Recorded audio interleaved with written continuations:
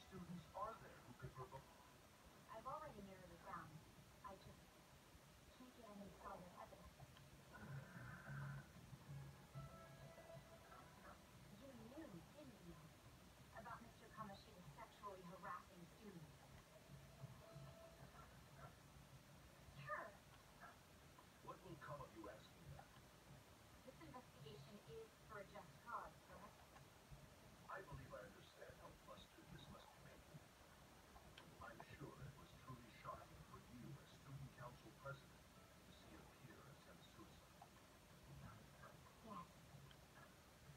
Provide a school environment where all that is the most So that's your reason that we don't even know the teacher.